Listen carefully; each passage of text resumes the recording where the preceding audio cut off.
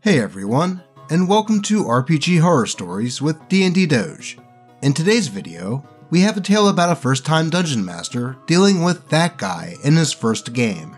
A story about a Halloween one-shot that goes off the rails due to a Leroy Jenkins player, and more. But before we get into that, here's a kitty in an attempt to get you to like the video and subscribe to the channel.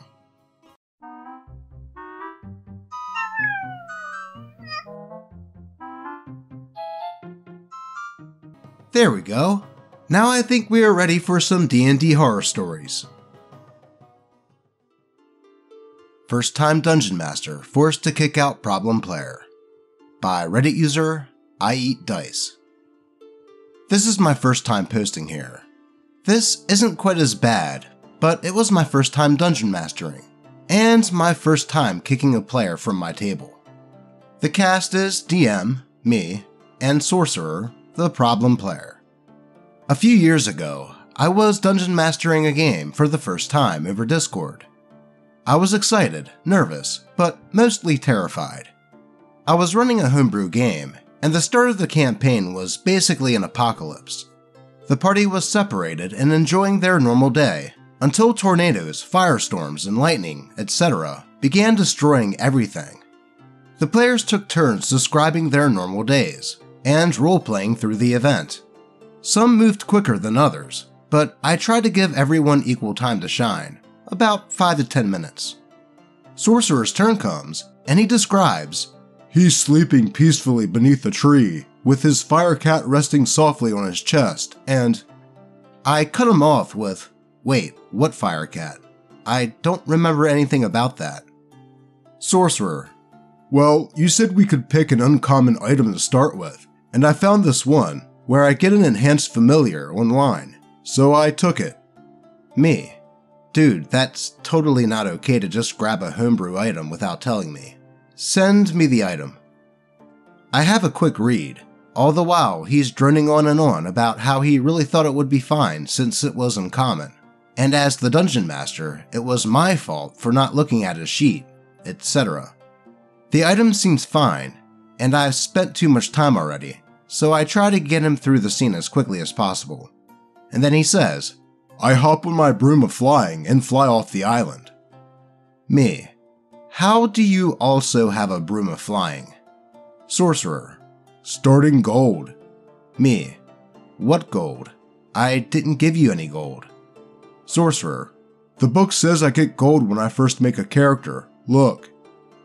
He then dives into character creation in the player's handbook, and again eats up time arguing that he gets gold and equipment. The other players are getting antsy, as I've now spent twice as long on him. So I say, whatever, he flies away, and then a tempest knocks him down and he's sucked into a portal. I move on to the fighter, who begins describing his scene before a Sorcerer cuts him off with Above you, you see my character and his cat perched on his shoulder, flying several hundred feet above you on his broom. He looks down and begins to shout. Me. No, no, you don't. You got sucked into a portal. Don't interrupt. He mumbles something, but backs off and lets Fighter finish. It's now the Bard's turn, who has just finished a show. He's approached by fans, and Sorcerer chimes in with, Among the crowd, you spot a handsome figure in nice robes. He's cut off again by me. Knock it off. You had your turn. It's their turn now. You aren't here. You aren't anywhere. I'll tell you when it's your turn again. He mumbles again, something like, Fine, I'll just stay silent forever. Blah. And we move on, progressing now pretty quickly, and almost back on track for my original plan. It's now Warlock's turn, and he flees to his wife and three kids to try to keep them safe. He casts Leomund's tiny hut with his family inside, and has a nice emotional beat, especially when I began to describe a tendril of energy poking through it. And Warlock begins brilliantly role playing a scared father in that moment. It was a godlike being that was behind it all. But then Sorcerer jumps in again. Um, actually, Leomund's tiny hut prevents any magic from going through it, so that shouldn't happen. It happens anyway. Sorcerer, no, the spell says on its description that. Me, I know what the spell says. I don't care. It happens. End of story. No buts. I am over your interrupting. Stop it or I'll mute you. Sorcerer mumbles about how it must not be magic, I guess. Blah blah. And once again, we march forward. Some super quick context. In my game, were a handful of champions who were basically leaders and heroes.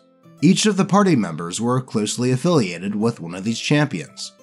I reiterate that they were close with and loyal to these champions. After everyone had their turn and was through the portal, the champions appeared to basically say, We lost, but we chose you all to be our chosen and fight on behalf of the country. Work together and beat him. And then hands them each an artifact that, together, are the keys to victory. First thing Sorcerer does once he's released into the new world, while I'm describing it, is say, I take my artifact and fly away. I don't know these guys and I don't trust them. This devolved into an argument that ate up, again, way too much game time, and I was forced to drag him into private chat to give him one last chance, as I'm now on the verge of just tossing him. I tell him that I've given warning after warning to quit interrupting me and quit eating up my game time, and that he needs to quit and apologize to the others now or he's getting booted. And he begins to whine, like literally whine like a child in the call. I just banned him from the server mid sentence and went back to my mediocre game. TLDR Player interrupts frequently and hogs game time, literally whines when given a final warning. Well, you gotta give props to a first time dungeon master for putting his foot down and dealing with a problem player. Sorcerer definitely seemed like a spotlight hog, and that combined with the fact that he gave himself homebrew without asking, and a flying broom, not to mention all of the arguing with the dungeon master, were all telltale signs that he was that guy. Besides, saying that he got the broom with his starting gold is ridiculous, as I'm sure a magic item like that would cost way more than what the player's handbook recommends for starting gold. Then there was the constant interrupting other characters' scenes, and OP's descriptions. So I say good on the DM for nipping that problem in the bud right away. And by the looks of it, OP had another story to share. So let's get into that one. Player abuses party equipment, forces NPC into a life debt by Reddit user I Eat Dice. Hey guys, my post from yesterday went well, so here's another story. This time, I'm a normal player character. This happened about three years ago now, so some of the finer details are lost and I paraphrase a lot, but I still remember most of it, and bunches of it are still in our Discord. It's a lengthy one, so buckle up. The characters Cleric, main character, and Dwarf, problem player. So a bunch of the players and I play online using Discord and Fantasy Grounds, and one of these games had been going on for a few months when Dwarf joined us, and for a bit, he was just a normal dude. He took his turns well in combat, was fine to roleplay with, though he had a touch of Gary Stu vibes, hating whenever he looked bad, and had a habit of being kinda short with the other party members. But we played with him for a few weeks with little to no issue.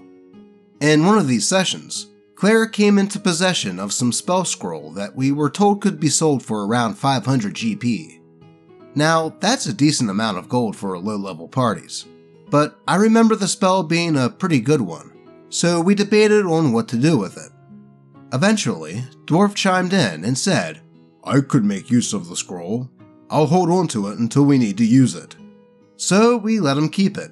And once we got back to town a few sessions later, he started talking with a trader.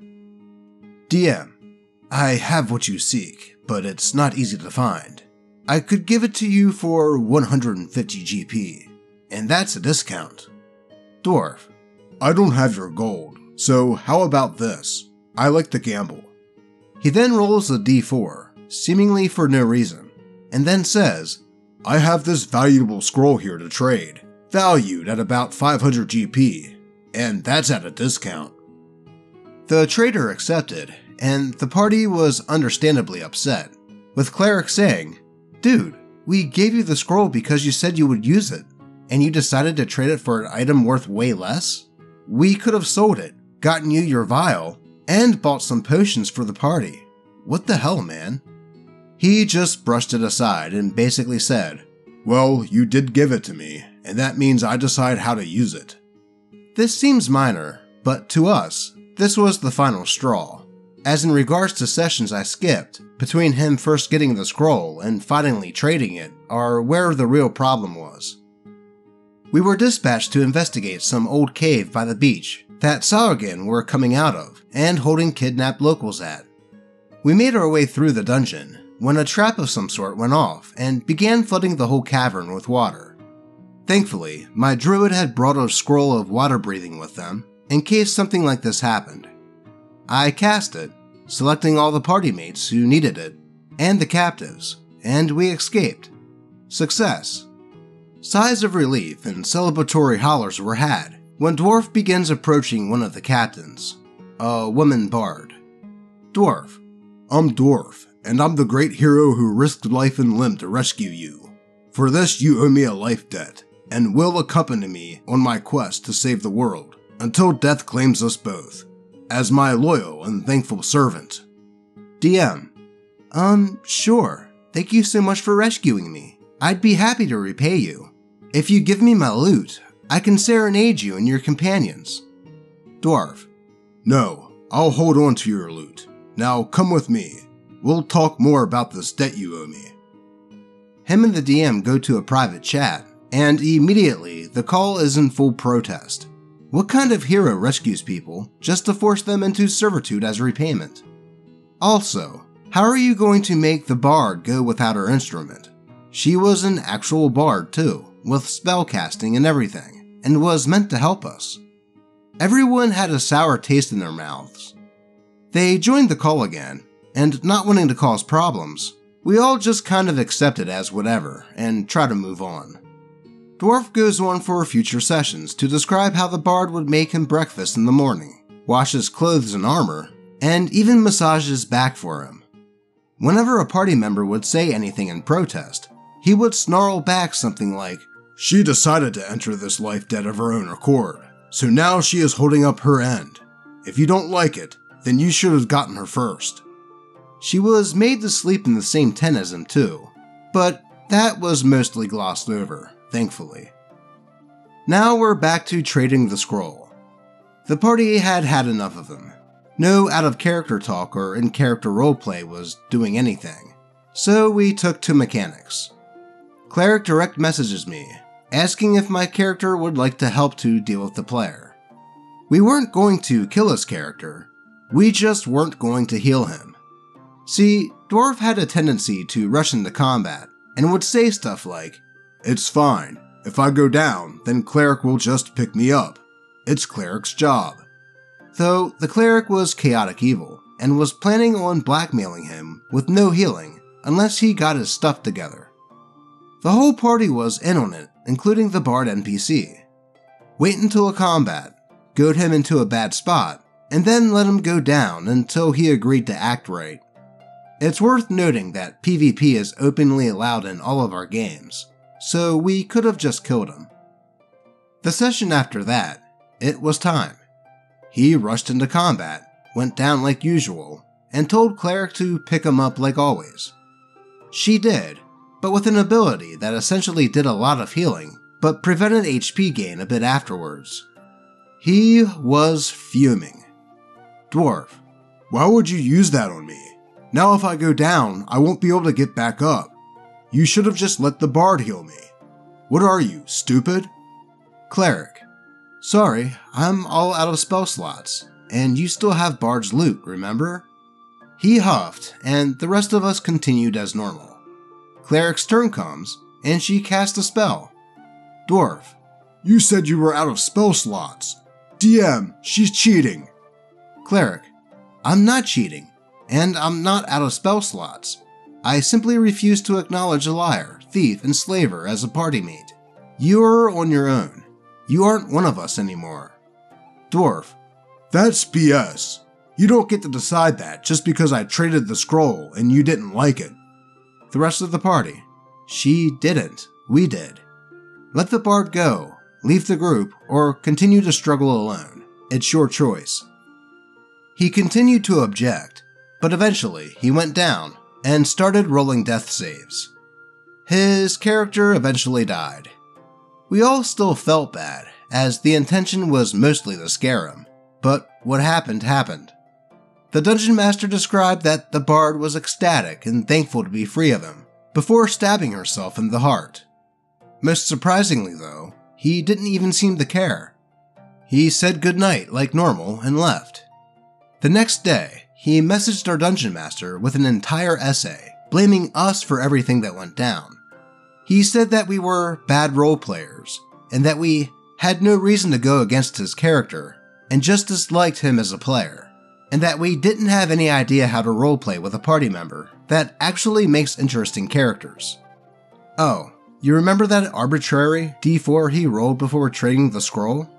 Well, apparently, he rolled the d4 to determine what he was going to offer as a trade, which might have helped if two of the other items weren't from our party sheet. Basically, shared items of the whole party. It was at this point that Dungeon Master told us that he was having the bard interact in private ways with him, and also informed us that he made her sign a magical contract in which she had to serve him to no end and would be forced to end her own life if he was ever to die. He then left the Discord, and we never saw him again. Yeah, while trading that scroll for something worth far less without consulting the rest of the party is kind of an a hole thing to do. And I can see how that was the final straw with that player, after all the times they would run wildly into dangerous situations and demand heals from the cleric. Plus, those interactions between Dwarf and the Bard could rub some people the wrong way. Normally, this is where I would say to talk about this stuff out of game, but as OP mentioned, they had already tried that. So, while this wasn't the best way to deal with intra party conflict, you can't deny that it was effective of getting rid of the problem player. Let's move on. The Tragic Tale of the Halloween One Shot plus bonus story by Reddit user 1031 Berserker. I know that the folks I play with use Reddit, so if you all see it, hey guys. Honestly, this is really just a perfect storm of a bunch of minor things all happening on the same night. Individually, none of these are really worth an RPG horror story, but when combined.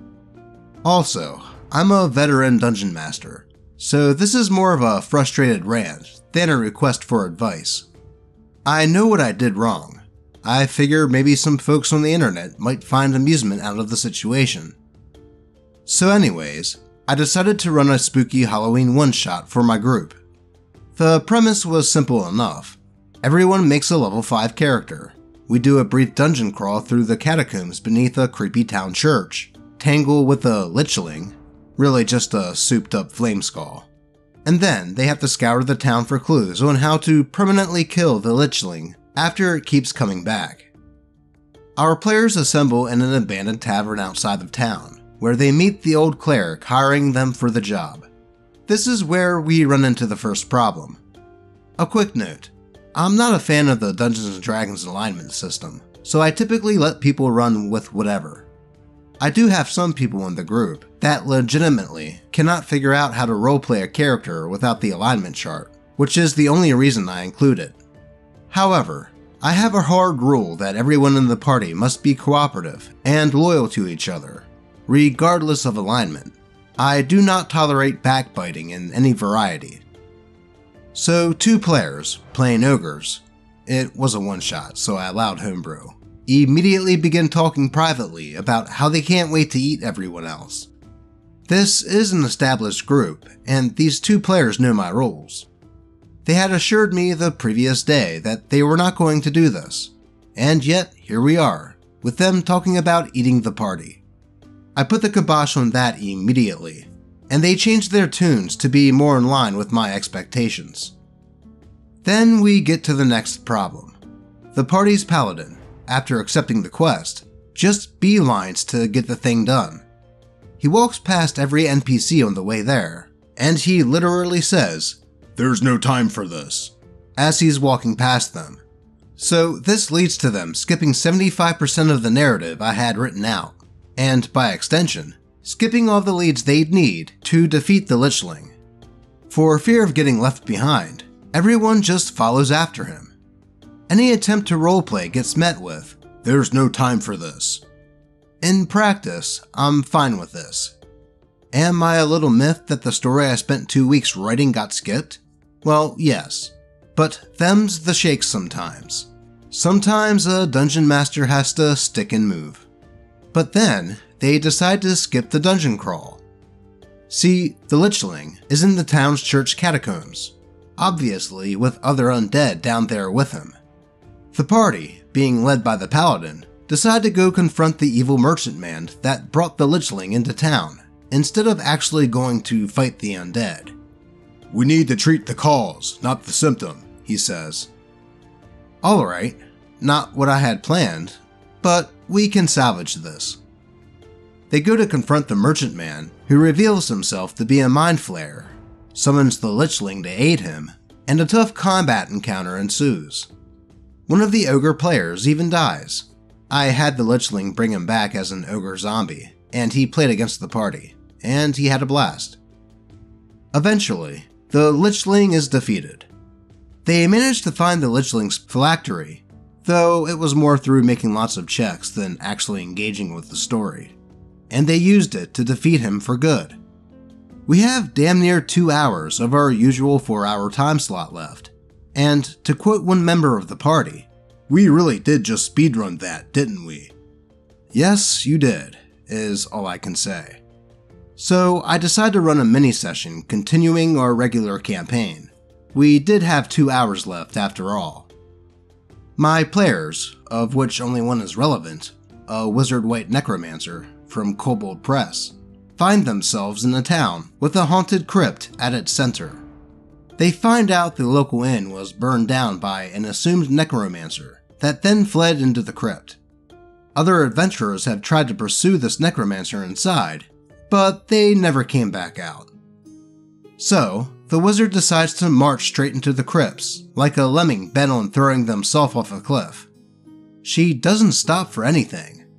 Other players, she ignores them. The heavily armed dwarf mercenaries that are making their own attempt on the crypt, she teleports past them. The party's rogue is the only one to sneak past the dwarves. The rest stop to negotiate and say hi. They recognize these dwarves as allies from a previous adventure. Yet another detail that the wizard ignores. The wizard, trailed by the rogue, makes it into the crypt, and the gates to the crypt shut behind them with invisible force. The party's ranger uses a siege arrow to knock the gates open, but it doesn't work. Something invisible is holding the gates shut. The dwarves volunteer to use a barrel of gunpowder to blow open the gates, but it will require the wizard and rogue to move further into the crypt to avoid being caught in any kind of blast. The rogue stealths and advances into the crypt, though the wizard makes no attempt to stealth, advances into the crypt, and gets ambushed by a shadow. The shadow lands its attack, reducing the wizard's strength to dangerously low, but the rogue is able to kill it. The gates get blown open, and the rest of the party drag the wizard back out. And yes, they had to drag her, because it was not hard, thanks to her reduced strength score. The rogue chooses to be the rear guard as they're withdrawing. The poltergeist in the crypt uses its telekinesis on the rogue, and he fails the strength save, dragging him almost all the way into the crypt. A tense moment passes as the party catches up to him, and then they promptly GTFO. The poltergeist laughs at them mockingly as they leave. Unsurprisingly, the party sits the wizard down to tell her how bad of an idea what she did just was. Though she doubles down. There's a necromancer down there. I can learn from them, is her response. When told that she could have got the rogue killed, the wizard's reply is, Well, I didn't ask you to come save me.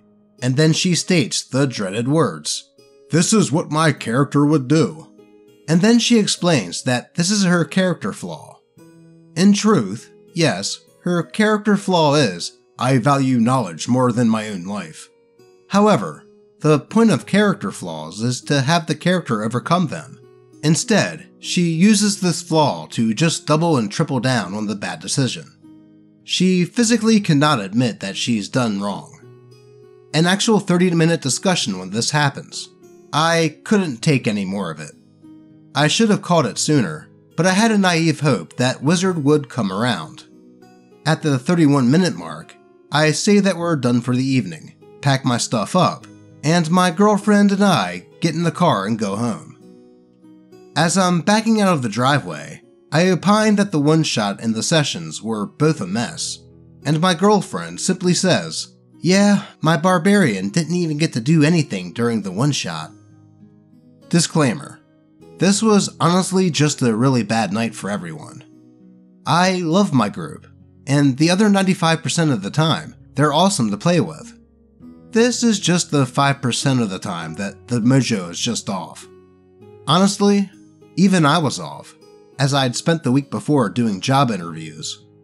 Sometimes, it just happens. On the whole, people did have fun. It was just the train wreck kind of fun, not the dungeon crawl against the undead kind of fun. Well, all except for the argument part. Anyways, rant over. Hope at least someone enjoys reading it. Well, yeah, it certainly sounds like they did speedrun that one shot. Though, even though OP says that he knows what he did wrong, I still feel the need to say that one shots do need a bit of railroading from the Dungeon Master, in order to make sure that things stay on track and do not take up too much time. Though, I suppose in this case, last long enough. When that one player just up and ignored everything to go to the person who summoned the Lichling, OP could have done something to impede that. Then, with the two hours they had left, another player does basically the same thing in their main campaign, and almost gets themselves and the party's rogue killed. It's good to hear that this is not the norm for OP's group, and just one time where everything just kinda seemed to go belly up. But that is all I have for you today. As always, I appreciate all of you, and may your games remain horror story free. Until next time.